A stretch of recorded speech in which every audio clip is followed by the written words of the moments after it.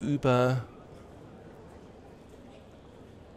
den Deutschlandstahl. Damit geht es los. Die Linie, wie wir sie vorhin ebenfalls auch hatten, klein wenig verändert. Wir haben jetzt eben nicht die Doppelochser.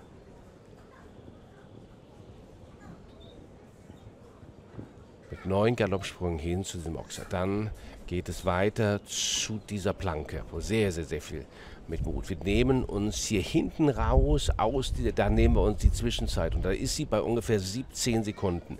Sehr, sehr lang, sehr, sehr lang ist der Weg dann hin auf diesen Porsche Steilsprung und wieder mit größter Vorsicht kommt sie dorthin und jetzt auf den letzten Metern kann sie es fast ein bisschen fliegen lassen. Es geht hier, man möchte fast sagen Berghoch, nein, es ist kein Berghoch mehr, es ist alles bretteleben. Sie kommt ins Ziel mit 36,18 Sekunden.